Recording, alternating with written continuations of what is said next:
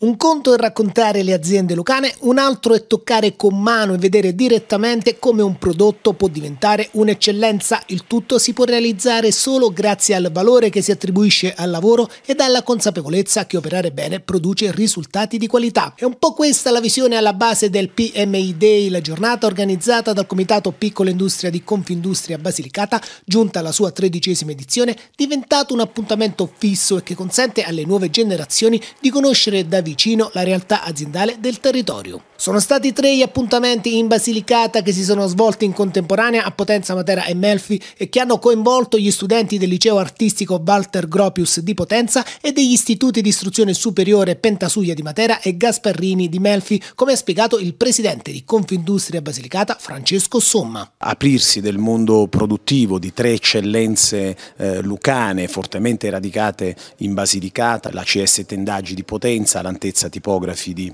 eh, di Matera e la Lear Corporation eh, di Melfi, eh, l'apertura al, agli studenti, al mondo della scuola significa davvero un appello affinché la scuola possa eh, conoscere eh, come si fanno le cose belle e ben fatte in Italia. Un'occasione anche per gli imprenditori del territorio per mostrare ai ragazzi che la Basilicata offre anche molte opportunità. Io mi sono sempre considerato un fortunato perché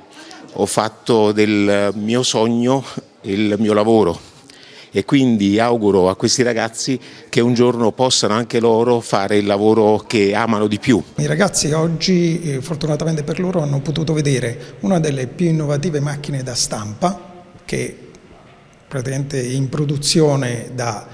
poco tempo in Germania e la prima è arrivata qui a Matera. Quindi. Ma cosa ancora più importante, hanno potuto vedere il meccanismo di associazione di, di un'app, che è un'app che abbiamo realizzato noi, che va a, a raccontare, quindi a creare un, una relazione tra il supporto analogico, che è il prodotto stampato, e il video che l'azienda di turno può collegare all'immagine.